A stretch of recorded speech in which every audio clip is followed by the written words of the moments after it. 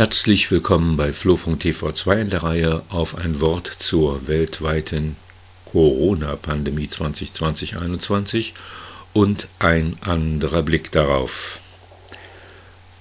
Heute mal was Persönliches zum Anfang, Tagebucheintrag vom 4. Mai. Gegen 16 Uhr betrete ich eine Straßenbahn und setze mich allein in die erste Vierergruppe direkt hinter der Fahrerkabine. Der Fahrer gönnte sich noch einen kleinen Moment auf dem Bahnsteig für ein paar Zigarettenzüge, dabei gab er mir durch das Fenster ein Zeichen, mit meiner OP-Maske auch meine Nase zu bedecken, was ich kopfnickend sofort tat. Weil ich nach dem Sport zur Bahn noch etwas außer Atem war, trug ich sie für einen kurzen Moment unterhalb der Nase vor, und hinter mir befand sich niemand. Auf der anderen Seite saß eine zweite Person. Ich habe das hier so in der Abbildung mal dargestellt. Da betrat der Fahrer 40 plus den Fahrgastraum und herrschte mich 70 plus an. Sie tragen keine FFP2-Maske. Eigentlich müssten Sie sofort aussteigen, aber ich nehme Sie ausnahmsweise doch mal mit. Wenn Sie erwischt werden, kostet das 150 Euro. Sprach's und fuhr dann los. Die korrekt maskierte Frau, 30 plus, nebenan, nickte mir freundlich zu und sagte, sie werde ständig von Leuten angesprochen, weil ihre kleine Tochter fünf Jahre im Supermarkt keine Maske trage, und das will sie auch nicht. Damit war ein kurzes Gespräch über den herrschenden Wahn gegenwärtig eröffnet. Beim Aussteigen gaben wir uns die Hand und wünschten uns gegenseitig alles Gute. So oder so ähnlich wie dieser Mutter ergeht es wohl derzeit Hunderten Millionen von Menschen weltweit. Was denken ihre kleinen Mädchen und Jungen an der Hand, ihrer Mütter und Väter dann? So, zurück zur Geschäftsordnung. Aktuelles unbedingt lesen oder hören. Nachdenkseiten, Tobias Riegel, Impfen, die Tagesschau und viele andere stellen die Debatte um Grundrechte auf den Kopf. Kann man sich auch als Podcast anhören. Dann haben wir gestern erfahren, neuerliche Impfung meldet das ORF. Neuerliche Impfung im Herbst geplant. In Israel ist es bereits fix und auch Großbritannien geht die Planung nun an, um eine neue Welle der Covid-Pandemie im Herbst zu verhindern, sollen bereits Geimpfte dann erneut geimpft werden. Ja, in Großbritannien äh, ab über 50 im Herbst, ja. Dann meldet Bild, die Angstmache mit den Intensivbetten, wie der Chef der Intensivmediziner den Kollaps, den Kollaps prophezeite. Also Bild prangert an, auf der Grundlage welcher äh, Fakten, Informationen. Also man muss ja dem Chef zur Seite springen, da dem Krankenhaus in den Nürnbergs Kliniken laufen über, überlasteter Rettungsdienst, äh, Aufnahmestopp. Ein Ende der Welle ist nicht abzusehen. Die die, die, die Krankentransport ist heillos überlastet, äh, wir kommen nicht mehr nach. Die Notfallrettung fährt derweil an manchen Tagen auf Kante. Berufsfeuerwehr muss einspringen als Ersthelfer. Ach so, das war im Februar 2017. Okay. Ja, dann machen wir mal weiter. Also auf welcher Basis äh, kritisiert Bild hier den Intensivmedizinerchef? Auf dieser Basis. Ja. Am 30. April Pressemitteilung des Bundesministeriums für Gesundheit. Analyse zum Leistungsgeschehen der Krankenhäuser und zur Ausgleichspauschale Pauschale in der Corona-Krise. Gute Patientenversorgung auch in der Corona-Pandemie stets gewährleistet. Instrument der Freihaltepauschale zur Sicherung der Krankenhäuser wirksam.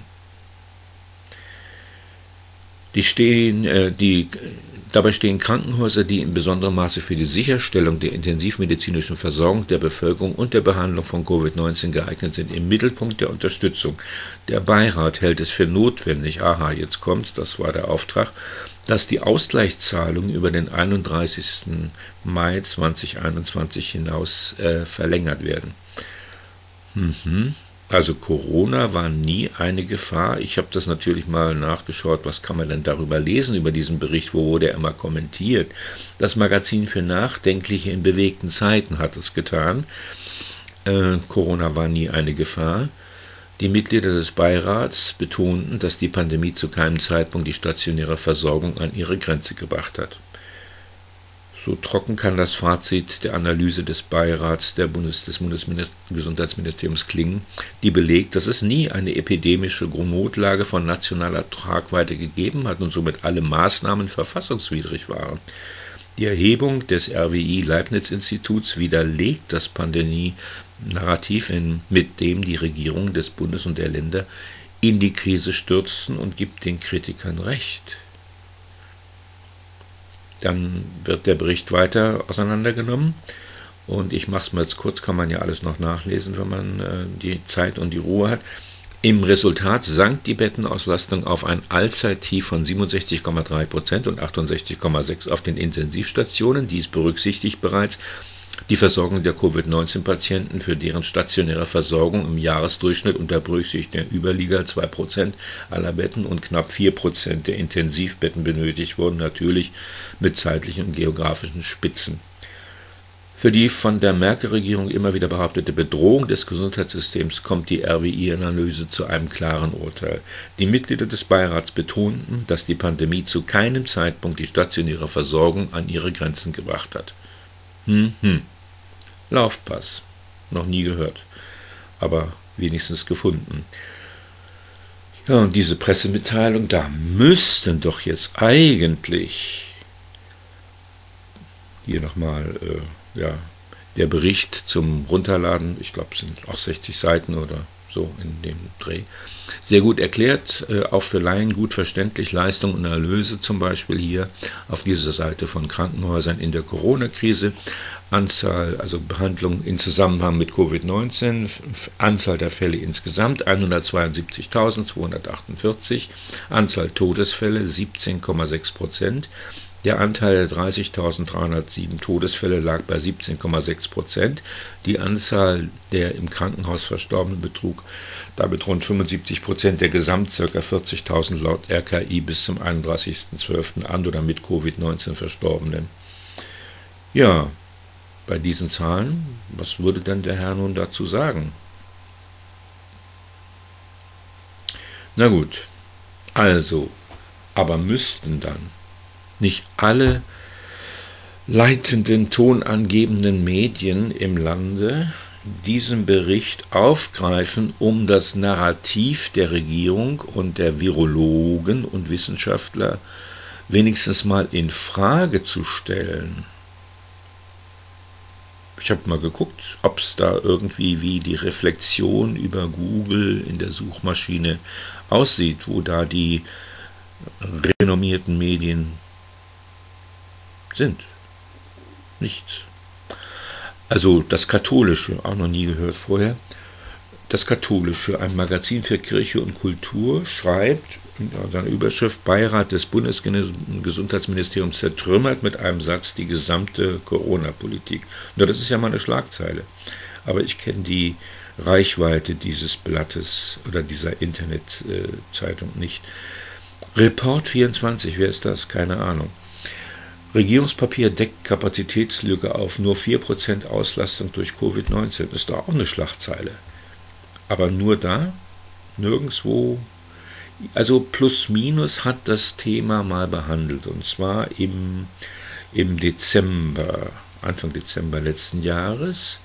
Und zwar haben die aufgegriffen den, den Punkt, dass die Bundesregierung, also das Gesundheitsministerium, äh, im Jahr 20, so im Frühjahr, angefangen hat, die Krankenhäuser zu motivieren, mehr Intensivbetten aufzubauen. Und dann gab es für jedes Haus pro Bett 50.000 Euro. Pro Bett. Und dann hat Plus Minus recherchiert und hat gesagt, ja, guck mal an. Und im August hat es schon 10.000 Betten mehr, also 10.000 Betten mal 50.000, da kommt ein hübsches Sümmchen zusammen. Allerdings haben sie natürlich nur die Betten aufgebaut. Pflegepersonal für diese Betten gab es nicht. Mit anderen Worten, es war eine Nullnummer. Oder man kann auch sagen, in betrügerischer Absicht oder so. Hm? Ja, damit hat 626 Millionen Euro ähm, den Häusern beschert, die natürlich die Intensivbetten vorhielten, um das Geld zu kassieren, aber ohne Pflegepersonal. Das ist ein Ding, finde ich. Und dann ist man dazu übergegangen, das jetzt nur noch am Rande. Man hat dann im Herbst 2020 ist man dazu übergegangen, nicht das mehr zu honorieren, sondern äh, die Häuser, die Häuser zu honorieren mit extra Covid-19-Bonus, wenn sie 75 bis 100 Prozent ihrer Intensivbetten auslasten. Daraufhin haben viele Krankenhäuser bundesweit ihre Intensivbettenzahl drastisch runtergefahren, um an die 75 bis 100 Prozent Grenze zu kommen, um dann wieder abzuräumen. Also mal so, mal so. Ja, aber es lohnte sich eigentlich eine genauere Betrachtung dieser ganzen Dinge in unseren einschlägigen Qualitätsmedien und investigativen Journalisten. Dann etwas auch bei Corona Docs immer wieder eine Fundgrube. Ich äh, finde je, auch täglich äh, schaue ich mal rein und diese Beiträge hier sind in großer Zahl auch über Corona Docs möglich geworden, weil ich da viele Quellen gefunden habe, auf die ich mich hier beziehe. Spike-Protein schädigt die Zellen. Aha. Ein Aufklärungsblatt des RKI gibt Aufschluss darüber. Das ist das Aufklärungsmerkblatt. Da schreiben sie auch ähm, äh, äh, die Bauanleitung. In den mRNA-Impfstoffen gegen Covid-19 ist eine Bauanleitung für einen einzigen Baustein des Virus, das sogenannte Spike-Protein, enthalten. Die Covid-19-mRNA-Impfstoffe, sind ja keine Impfstoffe, sag ich mal, enthalten keine vernährungsfähigen Impfviren. Das heißt, geimpfte Personen können auch keine Impfviren auf andere Personen übertragen. Ja, das können sie nicht. Allerdings Corona ist gar keine Atemwegserkrankung, schreibt RTL auf Basis dieses Berichtes. Aus Sicht der Forscher ist Covid-19 eigentlich eine Gefäßerkrankung. Und das erklärt auch, äh, warum die Dame, die gestern bei Maischberger Auskunft erteilt hat. Sie arbeitet 40 Jahre in der Intensivmedizin in der Uniklinik Köln und sagt, sie habe das noch nicht äh, erlebt, dass äh, Patienten, auch jüngere, reinkommen und das Virus eben nicht nur die Lunge angreift, was man bei Coronaviren eigentlich bisher so wusste, sondern sie gehen an andere Organe, an die Leber, an die Nieren, ans Herz. Also sie zerstören sozusagen systematisch äh, die Organe des Menschen.